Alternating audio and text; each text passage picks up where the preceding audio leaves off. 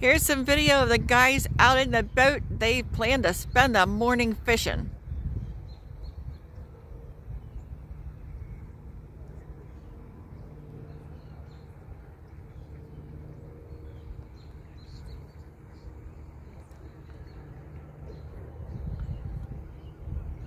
Hey, this is Dock Master Report.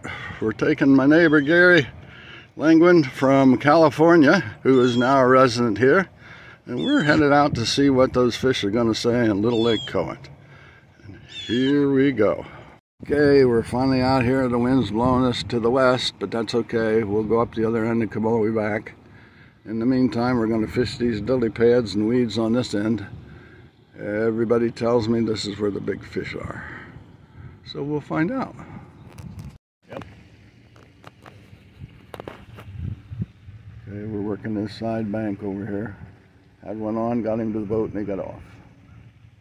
But then that's okay. He's there to catch another day.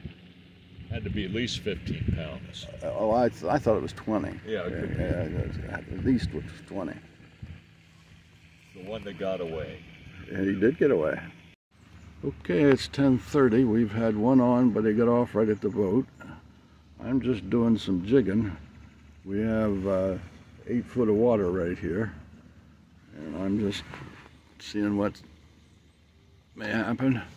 And Gary's using a tequila worm. I think he still has that on. Which is what we caught the one on. But just look how gorgeous it is today make sure you enjoy enjoy the Great Lakes of Selwood Station. Just look at that. Gorgeous, gorgeous, gorgeous. Okay, we only have one that got off and I just have to show you the pink duck lure. Can't leave without showing you the pink duck lure. I think I saw it the other day when you put it on. Tried it the other day, didn't you? I'm taking a video.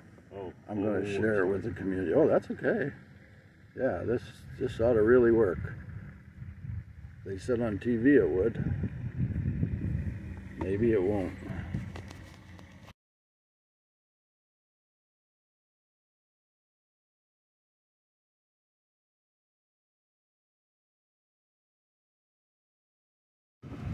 Okay, this is the dockmaster and uh, happened to see this golf cart down here and thought I'd better check it out and we can't solve this problem soon enough. He cannot get up out of there, needless to say.